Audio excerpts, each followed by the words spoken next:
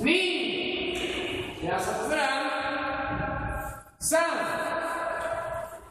chi, go,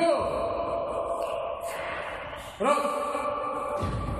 chich, hat, here.